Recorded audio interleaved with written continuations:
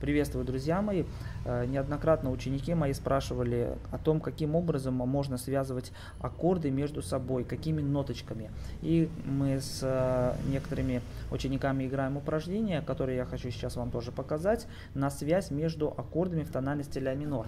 Мы знаем, что в той или иной тональности очень часто повторяется определенная цепочка или последовательность аккордов. Вот смотрите, ля минор, ре минор, соль мажор, до мажор, ре минор, ми мажор, ля минор. И на этой последовательности построено достаточно большое количество песен.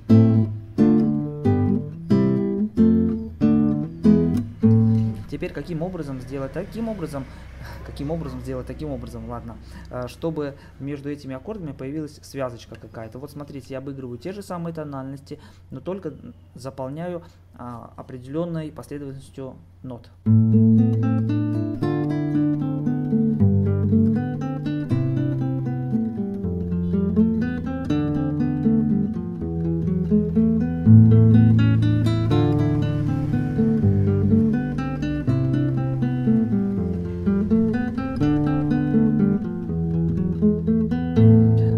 Эту последовательность можно играть просто как упражнение, а также можно использовать а, в качестве соединения между теми или иными аккордами, если они встречаются у вас в той или иной композиции, когда вы занимаетесь импровизацией, то есть играете то, что вам нравится, какую-то песню обыгрываете.